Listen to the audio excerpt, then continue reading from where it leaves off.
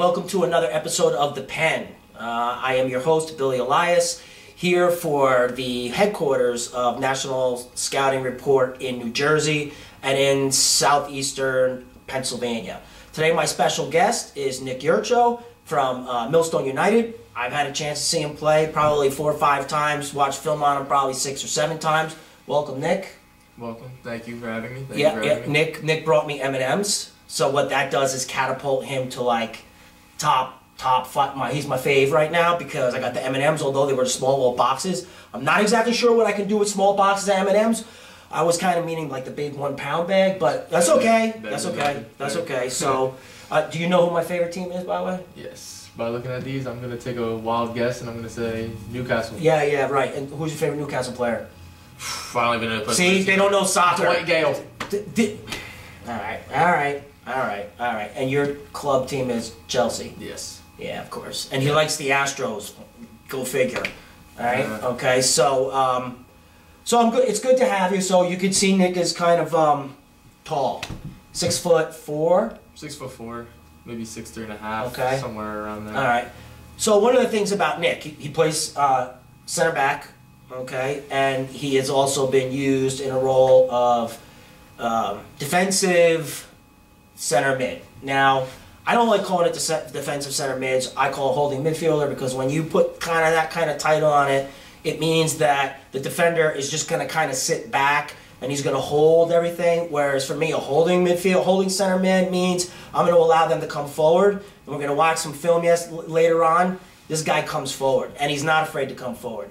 And one of the things I like about how you play is being six foot four. You don't have Peter Crouch syndrome meaning you know everything's a header, everything's a header, everything's a header. No, I want my six foot four center backs or my six foot four holding midfielders to be able to take the ball down, trap it, and you can do that.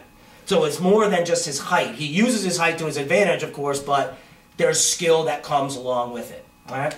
So um, as we go forward, look, tell me a little bit how the season's going. Any highlights? Um, the season's been going well. Uh, we have a lot of great victories. Um, my favorite part of the season so far was probably when we beat Pipeline Pre Academy at the DTS tournament. They were coming in, beating everyone 7 and 8, 6 0, and we took them to the wire and beat them 1 0 right at the end. Yeah, that's good. And then early on in the season, if I'm not mistaken, you you guys beat one of the top ranked teams in the nation, right? Uh, yes. Um, who did we play?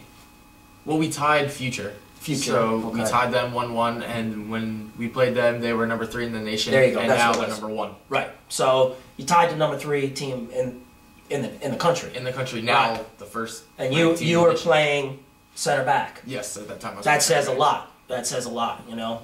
So um, talk to me a little bit about. Um, well, before we go to the college search, what I know you guys are in a lot of state cups. I know you had a rough one this weekend. Uh, that was that was our league. That was your league. That was our league. Oh, so you had, but it was still a rough loss, right? Yeah. Um, First league loss. first league. Uh, yeah, first league loss. Um, we played them earlier in the season. We. I'm pretty sure we tied them three to three. Yeah, played- it was like that. an indoor scrimmage. Right, right. It wasn't much. Just wanted to feel each other out because we were a new Mhm. team. But then we played them yesterday in the league.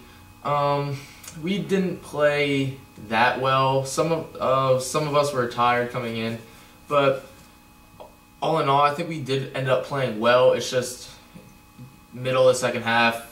Uh, cross put in. No one really was there. Guy came in, header, free header. Right. Not much you can do. You're not gonna miss. Right. If you're in top top ten, even anyone, you're not gonna miss from Right. And you were playing. You were you were playing holding midfield at that time, or, or defensive center mid, whatever. Um, so okay, so that's good. Now talk to me a little bit about um, colleges. What's going on at the colleges? I know you came uh, with me. I guess it was February, end of February. February, and there really wasn't a lot going on. No. Since then, I know that we've had a lot of conversations. So, because there's a lot now that seems Yeah. to be going on. Um, can you talk to me a little about it?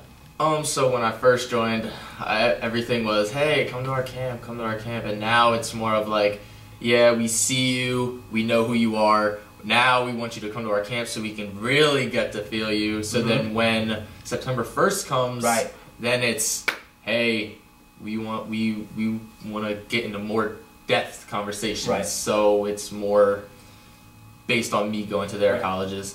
It's colleges like Villanova, Lafayette, um, Clemson. So that's just to name a few. I can't think of Well, any more off the top. Presbyterian, right? Presbyterian But well. they yeah. reached out to you, Presbyterian. Yes, and High Point. And High Point, they reached out to you. Yes. And Lafayette reached out to you. And, uh, So- and Villanova. Right. And and you have had contact back and forth Yeah. with the coach from Villanova before the new rule went into effect. Yes. the- Right. The new rule. The new right. rule. The new when we'll talk about the new rule one of these days. Yeah. But so you've had a lot of exposure. Yes. All right. So that's good. So that's good. So um, what we're gonna do right now is we're gonna show you a couple of clips of Nick, um, and you'll see what I'm talking about. When we come back, we're really gonna go a little bit more into it. So you ready to watch a few clips? Yes. All right. So we're gonna look over there on the monitor, and we're gonna roll the video.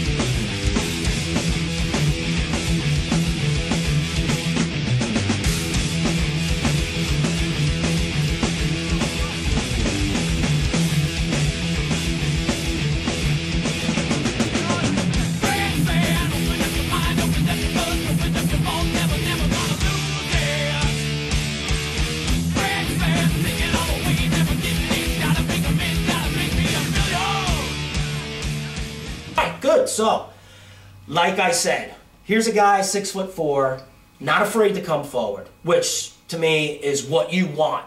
You know, I'm of the mindset that we attack with 11 and mm-hmm. defend with 11.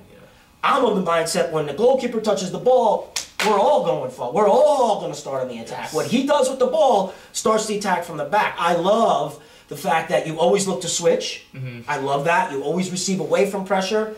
And again, you're just not afraid to come forward and make things happen, um, which is really important. For me, the most exciting part of the game is when I watch, would watch one of my uh, defenders come forward or my holding mids come forward and score. Yeah. You know, put that shot on goal because the defense, uh, the opponent really doesn't know how to handle when you have that extra man advantage when you're counting. You get a man advantage, a man and a half advantage. Even that half a man advantage coming forward can do damage, and you do that really well.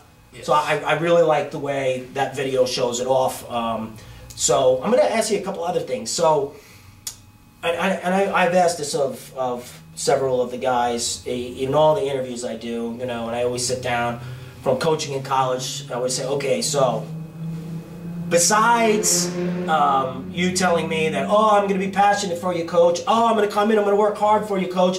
Oh, I'm going to be a team player, coach. Oh, you know, I'm going to come in, I'm going to be in the weight room, and I'm going to do everything that I possibly can for you, coach. My question to you is, okay, great, everybody says that. But I got $10,000 that I'm looking to give. I got a guy that's six foot five, very similar. What separates you from him? Why would I want to give you the money as opposed to giving him? Well, despite my work on the field, I put a lot of work in on the classroom. Um, I'm not the type of person that will put one over the other. It'll be even. So my classroom work and my work on the field will be even together. So it's not, you know, oh, I'm gonna I'm gonna show up to practice. Maybe I don't do my homework this night. No, I'm more driven toward the classroom because without those grades, if something were to happen to me, I would have nothing to fall on. So those grades are really important for me, and I always uh, pride myself on getting good grades in the classroom. Right, and you and you have a 3.5, Yeah. 3.57 Yeah, GPA 3.57. right now. And you'll be taking the SATs uh, in June, June second. right? Okay, so you'll be taking the SATs coming up. 3.57 student at a Florence High School, Florence Yes. Memorial. Florence Memorial. Got to get that right. Yeah. Because, you know, Florence Memorial, I never even heard of Florence Memorial. Not many people. Then I do. drove out there. I was like, where am I going? Just kept going and going and going. But that's- so, um, well, I mean, so I mean, then tell me a little bit more too about your athletics. So academically, you're going to stand out no matter where you go. You Mm-hmm. got what it takes. I've seen your report. I've seen your transcripts. You're, you're a solid 3.57 student, no doubt about it.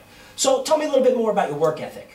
You know, what does it consist of? Not only, I, I, we know what it goes on on the pitch. Mm-hmm. I want to know what goes on at the house. I want to know what goes on in the gym. I want to know what the off-field workout for Nick Yurcho looks like. The off-field workout is if I don't have practice, I'm either at the gym doing arms, legs, back, chest, something of that nature. And if I'm not at the gym, then I'll be at the track running. I'll do sprint. I'll warm up with a mile. Then I'll do 100, 200, 400, 800, 400, 200, 100, 100. Wow. That just made me tired just listening to you say that. Yeah, and then another mile, not mile and a half to finish it off, just as a cool down lap. Dude, that sounds like what we did when I was in the Marines. Yeah. Do you run cadence to it? I don't know. Yeah, nah. these guys these days, uh, no. But so listen, man. I'm great having you on. Um, I know we're gonna have a lot of big things coming from you. I've seen, like I said, I've watched play live. I don't know three or four times. You know, your dad's kept me company. Your mom keeps me company on the phone. Yeah. So you know, we're definitely uh, got a long way to go. You're a class 2020, a sophomore. Yep. So you have all these colleges that are now reaching out to you. Mhm. And, I mean that that's that's great. So um, you know it's been great uh, having you on. I appreciate it. And you know you. I'll be around next time I want a pound bag of M and M's. So that's gonna do it for this We're there. episode. And stay tuned for what's coming next. Tiote, great strike!